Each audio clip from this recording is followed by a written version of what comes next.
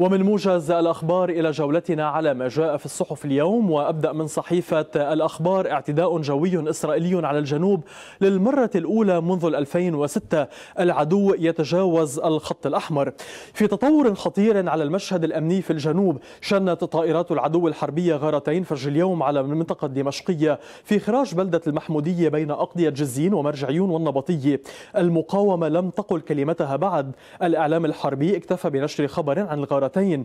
المرة الأخيرة التي استخدم فيها العدو طائراته الحربية لقصف مواقع للمقاومة كانت في شباط 2014 عندما أغارت طائرات حربية إسرائيلية على موقع لحزب الله عند الحدود اللبنانية السورية شرقي بلدة جنتا.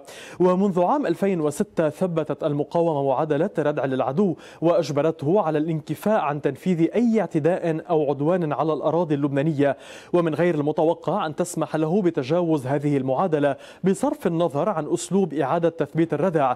في حال شخصت غارتي أو شخصت غارتي أمس في إطار سعي إسرائيل إلى الإخلال بميزان الردع الشديد الدقة.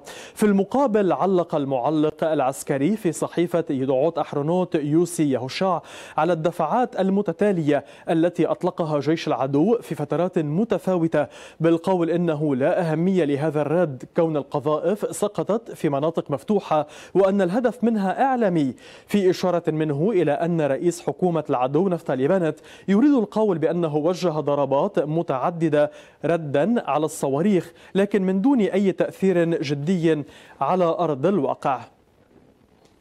وإلى صحيفة نداء الوطن العهد يثبت شراكته في دور الحكومة المالي هذه آخر حكومات ميشيل عون وتلك مسألة ليست ببسيطة طالما أن للرجل ورثة حزبيين سيكملون المسار بعد خروجه من قصر بعبدة كما مع سعد الحريري كذلك مع نجيب ميقاتي. توجه أصابع الاتهام بالعرقلة إلى الفريق العوني تحت عناوين مختلفة لعل أهمها الثلث المعطل. في المقابل يقول بعض العونيين أن وقائع التأليف تجافي الاتهامات التي تلصق بفريق العهد مشيرين إلى أن فرص قيام حكومة برئاسة نجيب ميقاتي مرتفعة. نافين أن يكون رئيس الجمهورية بصدد وضع شروط تعجيزية من باب تكبير حجر الأزمة لتحويلها إلى أزمة حكم. يؤكد البعض أن هذه الحكومة يجب أن تكون حكومة النهوض من الأزمة وعدم الاكتفاء بمحاصرة الانهيار ومنع التفلت الوضع تحت عنوان أن عمرها لا يسمح بأكثر من ذلك. لافتين إلى أن المشاورات الحاصلة مع رئيس الحكومة تتناول دور هذه الحكومة ومهمتها لا سيما على المستوى المالي والاقتصادي لكي تكون كل الأمور واضحة ومحسومة مسبقا حيث يحرص رئيس الجمهورية على أن يكون شريكا في القرارات المالية التي ستتخذ خصوصا وأن الأزمة بينت أنه جرى استخدام عصا التلاعب بالعملة الوطنية وحنفية الدعم من باب الضغط السياسي. ولهذا لابد من الاتفاق مسبقا على كيفية معالجة هذا الأمر وإلا فلتبقى حكومة حسان دياب تصرف الأعمال إذا لم يتم الاتفاق على حكومة قادرة على الإنقاذ بقرارات حاسمة وجذرية. كما يلفت العونيون. ومن نداء الوطن إلى أساس ميديا ومقال بعنوان عون لميقات أريد المال أو الداخلية. جاء في هذا المقال عكس كلام مستشار رئيس الجمهورية الوزير السابق بيير رفول المعادلة الواقعية التي يضعها ميشيل عون وجبران باسيل على الطاولة. إذا بده يضل على شروط نجيب مئات بيطير مثل مطار سعد الحريري. رهان أهل العهد يصل إلى هذا الع... يصل إلى هذا الحد من المخاطرة. إذا وجدت بعبدة نفسها محاصرة بشروط الرئيس المكلف وما تقول إنه إملاءات الفرنسيين والأمريكيين. وبعد الحريري يصطدم ميقاتي من ضمن سلسلة عوائق أخرى بمعادلة رفعها عون المداورة واجب والمال أو الداخلية للمسيحيين. لا يتوقع طبعا في الاجتماع الخامس المقرر اليوم بين عون وميقاتي أن يتم تذليل عقبة المداورة في الحقائب السيادية التي يصر عليها عون وبسيل مع انفتاح في موضوع وزارة العدل إلى الحدود القصوى للتوافق مع الرئيس المكلف على اسم الوزير المسيحي لها. وفي آخر تحديث المواقف لا إمكان لتنازل الرئيس بري عن المال ولا ميقات مستعد بغطاء وضغط من الحريري للتنازل عن الداخلية ويقابلهما تشبث عون بتعيين شخصية مسيحية في الداخلية أو المال وهو مطلب عوني مزمن. ويتصرف رئيس الجمهورية على أساس أنها الفرصة الأخيرة في آخر أشهر العهد لفرض الالتزام به. وللوقوف عند آخر المستجدات أولا قراءة المشهد البارحة نزول اللبنانيين إلى الشارع وما إذا كان يمكن أن يغير بالمشهد الانتخابي المقبل وأيضا للوقوف عند آخر المستجدات الحكومية. ينضم إلينا مباشرة عبر الهواء ناشر موقع لبنان Files وأيضا مدير عام Statistics لبنان الأستاذ ربيع الهبر صباح الخير. صباح النور.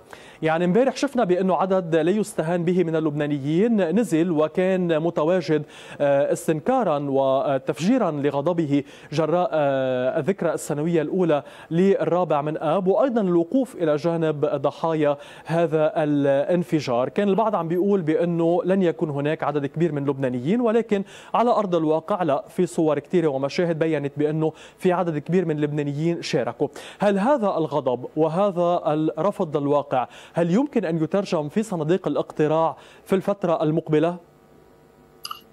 صباح الخير صباح الخير للجميع اللي عم بيشوفونا. آه، جوابا على سؤالك آه، يعني صعب التكهن كيف بده يكون الاقتراع. إذا بده ينعكس لتنعكس مشهدية امبارح على مزيد من الاقتراع لصفوف الحراك أو لا، ليه؟ لأنه بدنا نعرف مين الجمهور يلي كان امبارح بوسط آه، بيروت، هل هذا الجمهور هو جمهور الأحزاب؟ أم هذا الجمهور هو جمهور الحراك صرف؟ أم هو مزيج من جمهور الأحزاب المعارضة ككل؟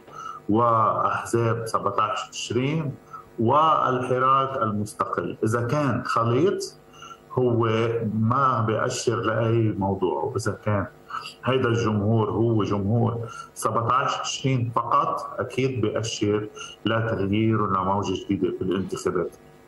امبارح المشهدية اللي شفناها بتفرجي إنه الناس رافضة رافضة السلطة وهي آه، يعني تشجب ما حصل. كل الناس بيشجبوا يلي حصل ب 4 اب 2020 ولكن هيدا جمهور ضد السلطة في لبنان. أما إذا كان هذا الجمهور يتضمن جمهور القوات اللبنانية والحزب التقدمي الاشتراكي وتيار المستقبل والتيار الوطني الحر نحن بعدنا مطرح ما نحن. كل واحد رح يرجع يروح على قطيعه وما رح يكون في تغيير بنتائج الانتخابات. أو على الأقل سيكون التغيير محدود لأنه كمان أكيد كان في جمهور كبير لا ينتمي إلى الأحزاب وهذا الجمهور سيصوت سيقترع حصرا لمرشحي الحراك ومرشحي ثورة 17 تشرين. ما في شك بأنه آه، يعني قبل أشهر حضرتكم تقومون بالإحصاءات آه، سواء نعم. يعني كموقع آه، أو كشركة أو حتى يمكن لجهات سياسية ولمرشحين كرمال يعرفوا وين نقاط قوتهم ووين نقاط ضعفهم وخصوصا بأنه فايتين على انتخابات من المفترض بأنه تكون يكون فيها كسر عظم يعني لأنه وخصوصا بعد الانتخابات يلي كنا عم نشوفها بالنقابات وآخرها نقابة المهندسين المهندسين وهالتغييرات الكثيرة يلي عم بتصير آه، بصناديق الاقتراع. آه، هل بحسب الأرقام يلي آه، عم توصلكم لحد هلأ الاحصاءات يلي عم تعملوها لحد هلأ في لدى اللبنانيين أجواء تغييرية. يعني هل يميلون لأنهم يقلعوا عنهم العباءة الحزبية؟ ومن لم يكن ينتخب هل هو جاهز أنه ينزل وينتخب ضد هذه الطبقة السياسية؟ يعني هذه العقلية عم تتغير أم كل الأزمات اللي عم نعيشها ما عم بتفرجي أنه فعليا ممكن يكون في تغيير كبير بالانتخابات المقبلة؟ خليني أقول لك شغلة. أول شيء في سلطة البرلمان السلطة الموجودة داخل البرلمان والأحزاب اللي بتتشكل منها. يعني عم بحكي عن القوات اللبنانية والحزب التقدم الاشتراكي وتيار المستقبل وحزب الله وال... و... والتيار الوطني الحر وكل هودي الأحزاب. هودي كلهم كل واحد رح يسوح يعطي جماعته. أما ما تبقى من ناس ضد من هو موجود في البرلمان سيعطي لوائح الحراك. أنا اليوم ما بشوف أي اتجاه لدى جمهور الأحزاب أنه يصوتوا أو يعطوا صوتهم أو يخترعوا لأحزاب للحراك. رايحين يعطوا أحزابهم وهن مشبسين بأحزابهم ومشبسين بالأسماء يلي هن عطوها بال 2018 رغم كل الزلية اللي عم بيعيشوه بسبب هذه الطبقة السياسية يعني رغم هالنطرة قدام محطات البنزين وعم بيناموا بالليل بلا موتورات بالشوب ورغم الغلا ورغم عدم وجود أدوية ورغم عدم قدرتهم على الاستشفاء رغم كل هيدي الأمور كمان بدهم ينزلوا بعد وينتخبون؟ طبعا كل واحد مفكر إنه حزبه على حق وزعيمه على حق وإنه يلي عم بيقوم فيه حزبه هو الصواب ومش قبلان الآخر وبعد الأحقاد وبعد النكافات الصغيرة وبعد المناكفات الكبيرة بمطرحها وما في شيء تغير أما أما الجمهور الآخر الصامت فهو يرغب بالتغيير ويرغب بعدم الاقتراع لكل الطبقه السياسية ولكل الأحزاب. بس قديش حجمه؟ قديش منظم؟ هيدا السؤال. للنهار يلي رح يتنظم هيدا الفريق نهار يلي بيتنظم هيدا الفريق نحن بنصير أمام تغيير بالبرلمان. حتى الآن أنا لا أرى تغيير جذري في البرلمان إلا إذا قدرنا وقدرت قوى الحراك انها توحد حالها بلوائح آه، موحدة وبدعاية موحدة وبفكرة موحدة. لليوم في تشتت كثير كبير وأنا بشوف تغيير كثير محدود حتى الساعة. أما إذا توحدوا ففي تغيير كبير ولكن لا يأتي بشكل جديد للبرلمان. رح نعم. بتفوت كتلة تمثل هذا الحراك وتمثل هذه الثورة سميها ما شئت ولكن هالكتله رح بتضل محدودة لأنه الأحزاب بعدها كثير قوية، يعني الذي يعول عليه الغرب والدول إنه نحن رايحين نحكي مع طبقة سياسية جديدة غير صحيح، ما راح يكون عندهم القدرة يحكوا عن طبقة مع طبقة سياسية جديدة لأنه لن تظهر طبقة سياسية جديدة ستظهر. كتلة داخل البرلمان كانت ثلاثة وكانت خمسة أو كانت عشرين راح تنشأ هذه الكتلة بالبرلمان. ولكن لن تكون هي صاحبة القرار في السلطة وهي التي تحاول. نعم. الشيء بدنا نرجع للتقليد السياسي. هذا بالنسبة لمشهد الشعب امبارح وقدرته على التغيير أو غضبه بالتغيير بصناديق الاقتراع. خلينا ننتقل معك إلى شق آخر وهو الشق الحكومي. معلوماتكم أو معطياتكم كموقع إخباري. هل ممكن اليوم الاجتماع الخامس ما بين الرئيسين ميقاتي وعون يوصل إلى أجواء إيجابية أم بالعكس رح توصل الرئيس ميقاتي إلى الاعتراض الاعتذار آه، في الأيام المقبلة؟ أه لحد هلأ بعدنا نحن مطرحنا يعني مطرح ما فل الرئيس الحريري بلش الرئيس مئاتي.